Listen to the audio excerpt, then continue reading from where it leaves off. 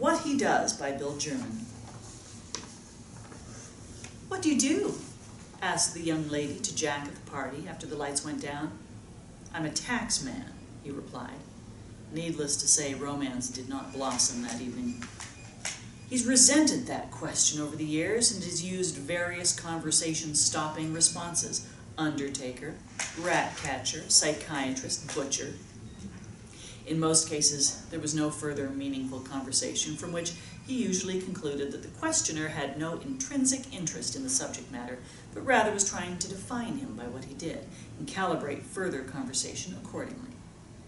Jack always considered the question, especially when asked near the beginning of a conversation, to lack imagination and genuine curiosity, and as intrusive as asking about his bank balance or lack of underarm deodorant.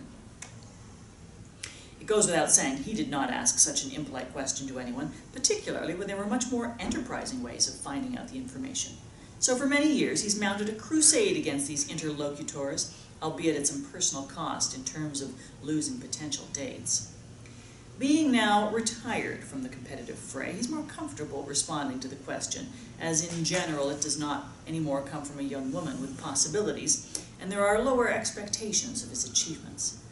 He is as inured as he ever will be to what people think. He is becoming a curmudgeon and doesn't give a damn.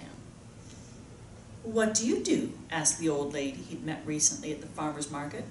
I'm a flaneur, he said. A flaneur? What is that?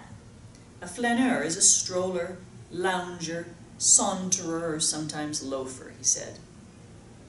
He told her that flânerie comes from Paris, where Baudelaire used it initially in the 19th century to describe literary types. A flaneur is a man of leisure, an idler, and a connoisseur of the streets and cafes. The lady at the farmer's market lost interest before he finished his introductory comments. He may as well have said he was a taxman. However, he seems to be more comfortable in his new profession than any previous incarnations, and has set up a chapter at a local coffee house where he and like-minded friends can indulge in flânerie. Someone told Jack recently that many people would see a negative connotation to flaneurs. I would hope so, he responded.